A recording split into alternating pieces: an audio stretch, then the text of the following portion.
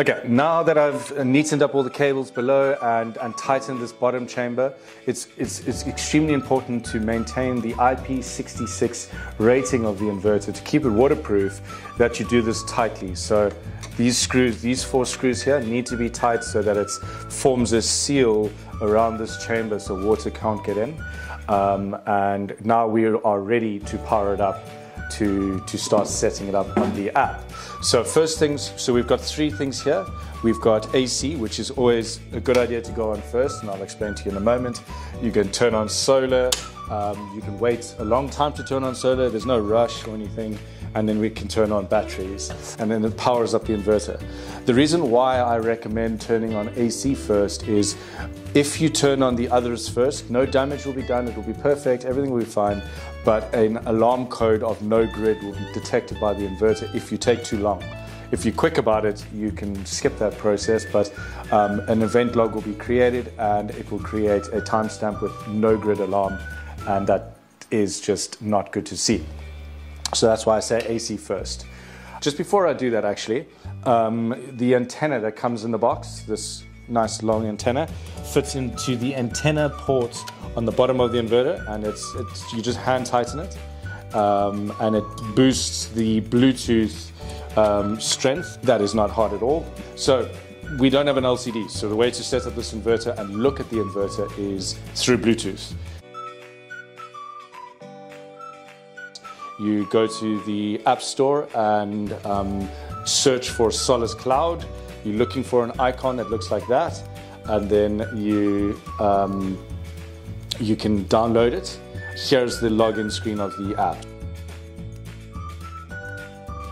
Now that we've downloaded the app, we've got it on our phone. We don't have to log in with our uh, log into the into our accounts. We can just remain completely offline. It's very important that you can set up this inverter while offline.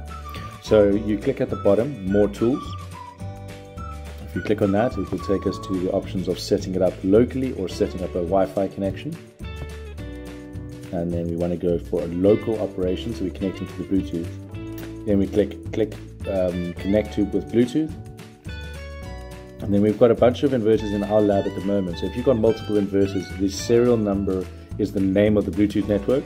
And our inverter here is 005 so we're going to connect to that one.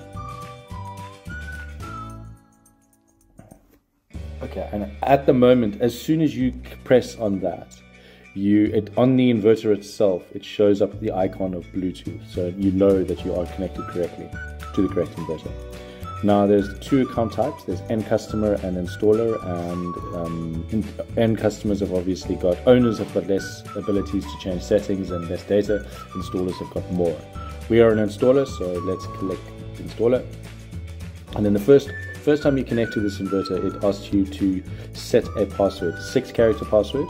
And um, it's very important that these passwords are set. So I'm just going to select it to um, Solis 1 and just click the little eye icon to make sure it's correct. It's quite a, a, a an effort to reset these passwords, so um, good idea to make sure that you know it. set password.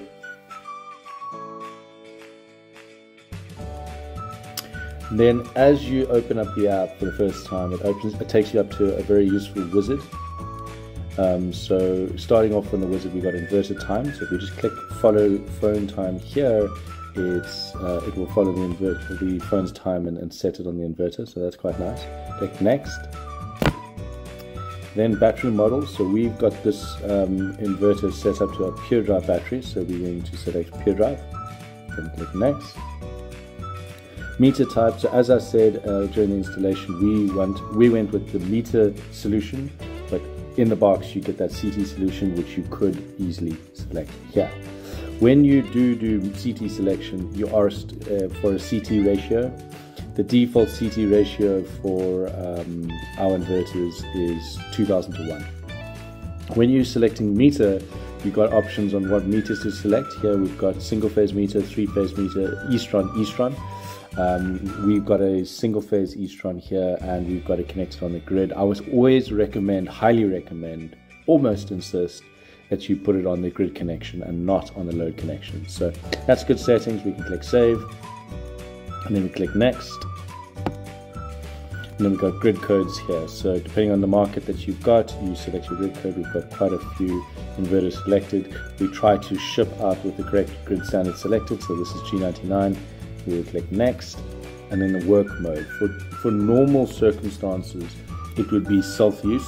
So that is when it's looking to optimize the energy inside the property and, and keep the energy local. And as soon as the inverter sees export, it charges. As soon as it sees that you're buying electricity, it discharges the batteries to stop those charging. So that's the default mode.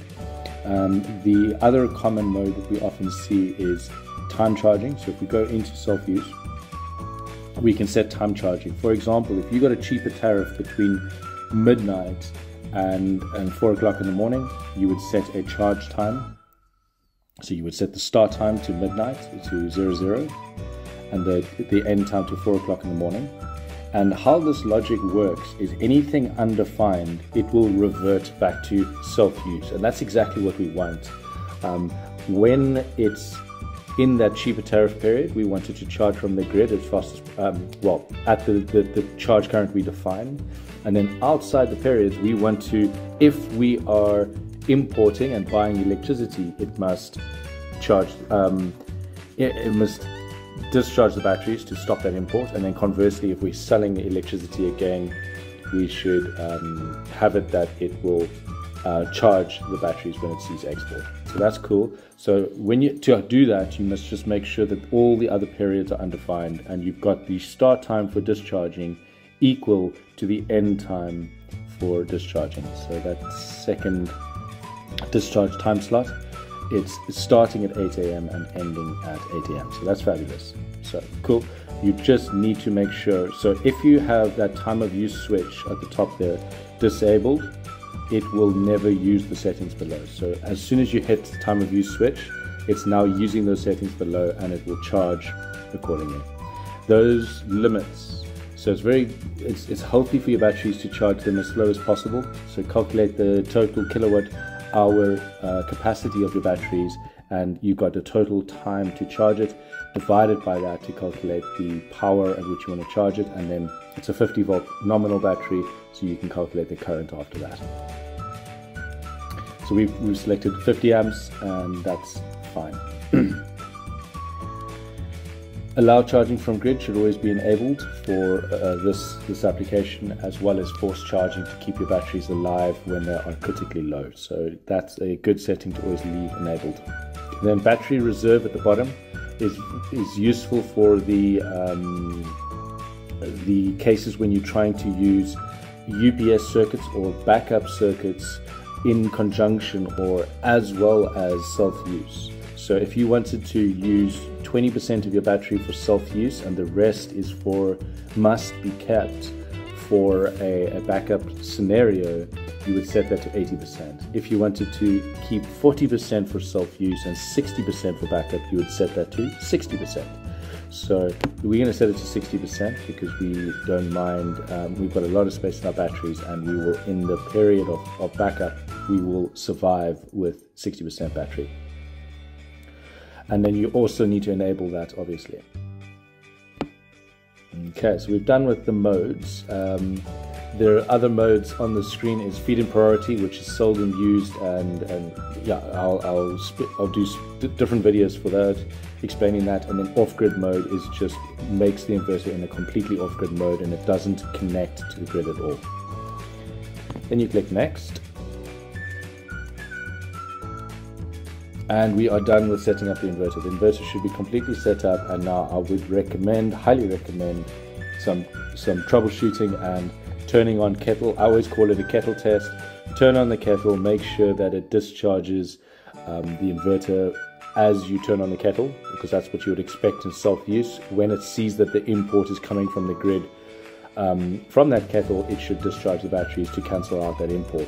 However, obviously, if you've got a lot of solar coming in and you're exporting excess power, or you've got enough sun- solar power coming in to supply that kettle, it will not do that. So just do things that um, that will run the tests in your head and, and make sure it all makes sense. On the top right hand uh, of this screen, you can see the status of the inverter and it says run. So everything seems okay.